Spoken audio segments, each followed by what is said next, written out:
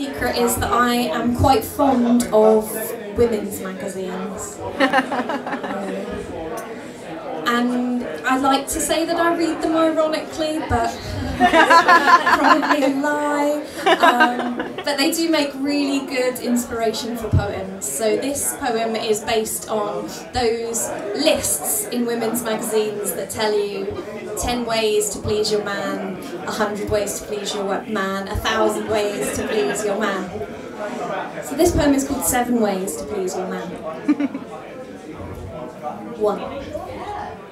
Film yourself doing something really naughty, like stealing your neighbour's newspaper off their front porch,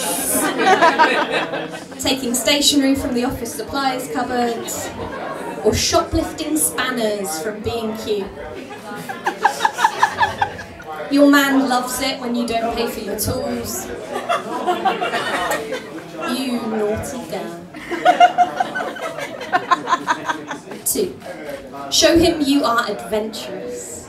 Run out into oncoming traffic. Set up an amateur knife juggling club at your local further education college.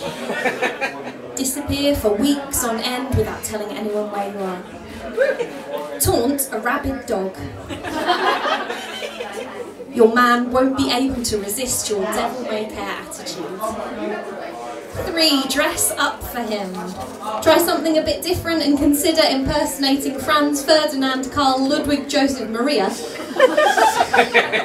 the Archduke of Austria and Royal Prince of Hungary and Bohemia, whose assassination in 1914 led to the outbreak of the First World War. After all, men love powerful women. and the false moustache will bring some extra sensory pleasure to the bedroom too. Four, talk dirty to him.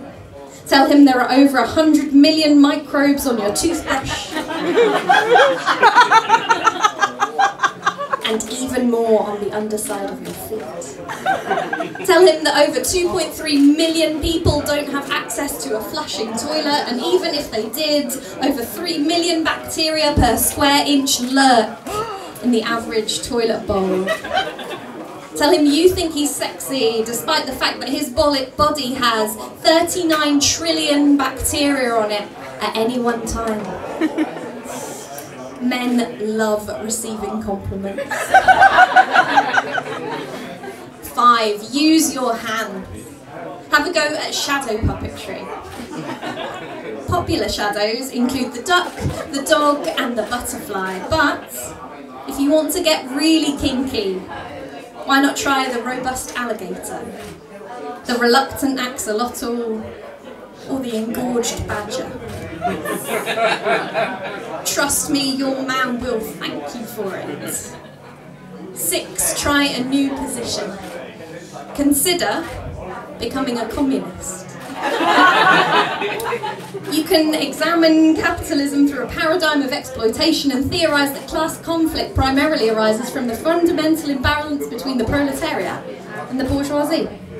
After all, it pays to be open-minded when it comes to pleasing your man. And when you seize the means of production, he will give you anything you want. Seven, try new things. Never repeat yourself, never repeat yourself, never repeat yourself. Live up to unrealistic standards of heteronormative sexuality, read lists in shitty magazines and follow them as if they were gospel. Try new things, never repeat yourself. Or you could just ask him what he likes. Fuck's sake.